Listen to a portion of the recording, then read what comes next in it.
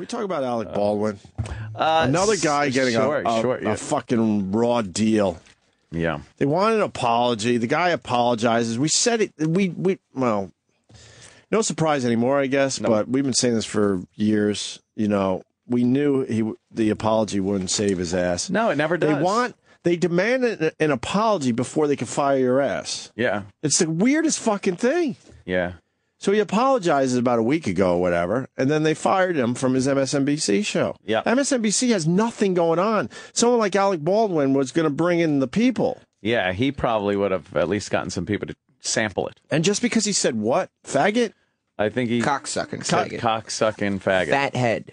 Fathead. He says. Cocksucking fathead. Why you fathead? Wait, cock sucking fathead? That's so he didn't he even say faggot? He says that he said fathead. but he did f- say faggot? Oh, he It said sounds like faggot. that. All right, Yes, but he, he, he but he knows the culture, so he was trying to save his fucking ass.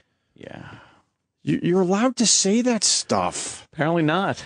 but you're you are, Eh, then you could lose your job. especially when he's being harassed on the street like he like he is. I know. Martin Bashir went on MSNBC itself, like the network itself, Right, and advocated for Sarah Palin being shit on. right. And and Alec Baldwin just called a Well, he's the right, paparazzi Yeah, a cocksucker. but he's the right color. We all know that. Oh. If you're the right color, you get away with a little little more. That little um more. I mean, why did they hire him in the first place then? I mean, But the but Why? this shit is so dangerous, and it's already having a major effect. Yeah. You know, you don't really you don't expect anything to happen on these shows because everyone's scared shitless of saying the wrong thing. That's the uh yeah. That's the thing you don't want to do. Be caught saying the wrong thing. They'll throw you right out of your job. It's Unbelievable. ridiculous. when we all say shitty things, we all do fucked up things, Of course. but let's make believe we don't, right? Oh, What? I'm hearing. Um, let me let me see what I'm hearing here. It's because he was a cocksucker behind the scenes. That's He was a fucking asshole. and they were just trying to find a reason to get rid of him. Fucking prick. Well, well, Is that a good source? that's a pretty good source. I gotta admit.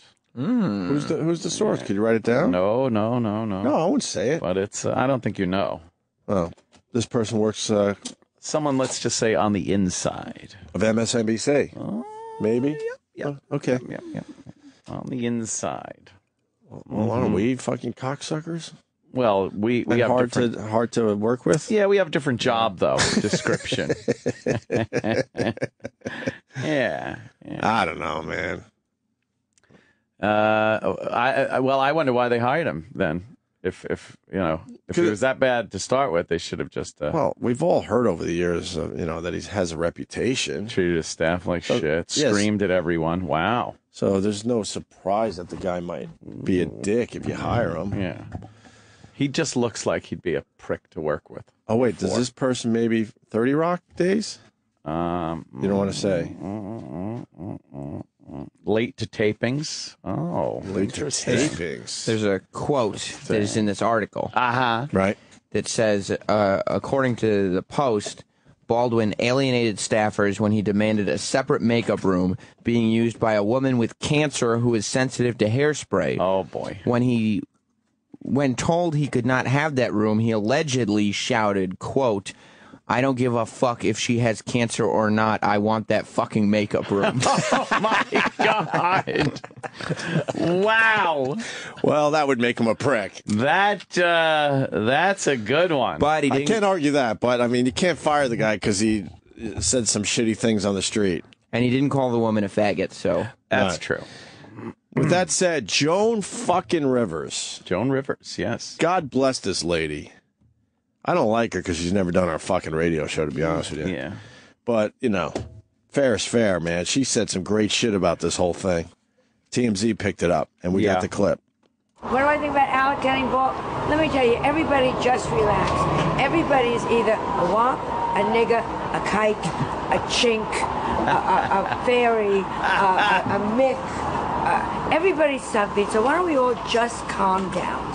We should be thankful for you. Be thankful that we're all living in America and stop everybody getting so damn uptight. And this goes to the Indians, both dot and feather. Wow. Thank you. Joan, always a pleasure. Thank Take you. care, all right? Bye-bye. God, Look at God Joan. bless Joan Rivers. Just blurting it out What's up, there. Jimmy? Hi, buddy. Jimmy's back. Yes. God late. bless Joan Rivers. Will she get in trouble for that? Uh, no, she's Joan Rivers. She's beyond Yeah, trouble, I she's think. she's untouchable. Good. She's one of the untouchables. Right. There's not There many are- untouchables there There are out a few there. out there, but uh, you know, um, uh, who else? Uh, Don Rickles is an untouchable. Mm-hmm. Ew, what's the matter? Chewed up pen cap. Yeah, why wouldn't in people front of you? it? They're grown ups. Who chews up the pen caps? You fucking freaks. Yeah, I think she's untouchable, Joan Rivers. She's Yeah. uh, yeah. You know she's gonna say something horrible. Yeah. Well, she was sticking up for uh, for Alec Baldwin. She said the N word. Did you hear? Did you hear the I clip? heard part of the clip through. Oh, the, let me play it again for you. Yeah. They asked her about Alec Baldwin, who of course got fired. We all yeah, knew he would. stinks. They were waiting for the apology. You got to get the apology, then you fire the guy. Uh, Joan Rivers said this. What do I think about Alec getting bought? Let me tell you, everybody just relax. Everybody's either a womp, a nigger, a kike, a chink, a, a, a fairy, a, a, a myth. Uh, everybody's something. So why don't we all just calm down? We should be thankful for you. Be thankful that we're all living in America and stop everybody getting so damn uptight. And this goes to the Indians, both dot and feather. Thank you. Joan, always a pleasure. Thank Take you. care, all right? Bye bye. That's good. Bravo. Good, for her. Yes. Indeedy do. Good for her. Because she's fierce. That's why they don't fuck with her. Because if they asked her for an apology, she'd attack them. Right. Shut, go Yeah. fuck yourself. For what? Apologize for what? Apologize. I'm not apologizing, you fucking asshole. So we should take a break then.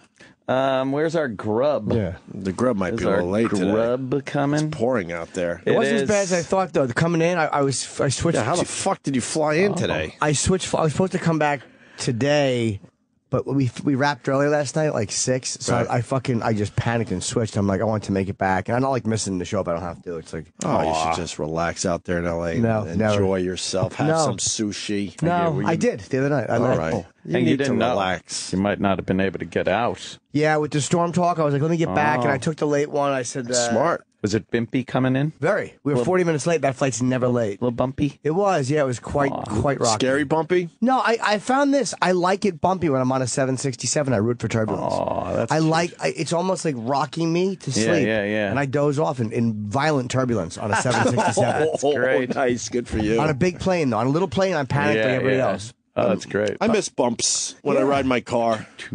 I miss bumps. Yeah, the bumps. Yeah, when I first started driving the SUVs back in the day, they, they gave you a nice little bumpy ride. Very smooth now. Too smooth, Oh, man. I don't like that. Where, where you get that weird shit in your stomach. Oh. I got a, I got a rental car now that's not quite as luxurious as the old Escalade. Right, For a little while until they fix up my Escalade. right. Um, yeah. Uh, I'm like, it's a, it's a, it's a Durango. Uh, I'm not very happy with it. People are saying, check out Joan Rivers' documentary, A Piece of Work. We, Oh, I've have it. all seen it. Yeah, Yeah, That's yeah, a yeah. great documentary, too. Yes, I'm beating the shit out of it though. Oh, good. I don't, uh, I don't feather the throttle at all. It's either full on the floor or my foot's off it. Well, that's what those cars are made for. Got to beat the shit out of the car. Yes. Where's Travis? I, I asked him to look up a song that's in the documentary Burn. I want to play it today. Is he having gay sex somewhere Oh, in the building? it? Building? He was planning on having gay sex today. He said. Ah, mm, Why don't we do this? I got a cool song. Hopefully, you guys will like. It's from um, Denis Leary's Burn documentary. It's how the uh, documentary starts. They only use a piece of this song.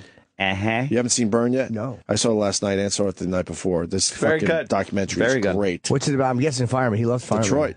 The Detroit, Fire, Department. and the fucking the uphill battle they have Oh to- wow.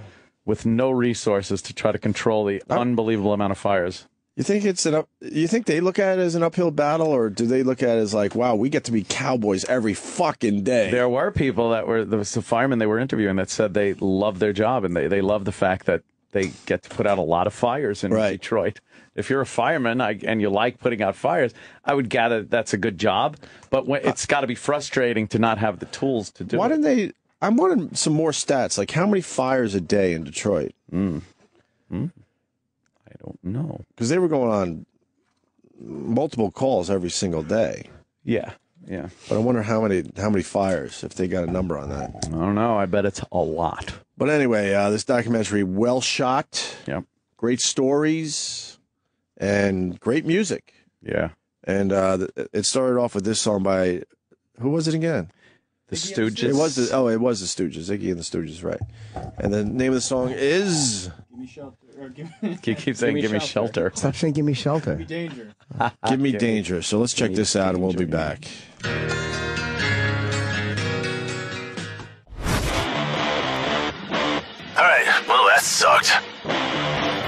Hear the Opie and Anthony show five days a week live on satellite radio, online on your phone or tablet, or even on demand, go to SiriusXM.com. Also, interact with the Opie and Anthony show on Twitter at Opie Radio, at Anthony Cumia, and at Jim Norton.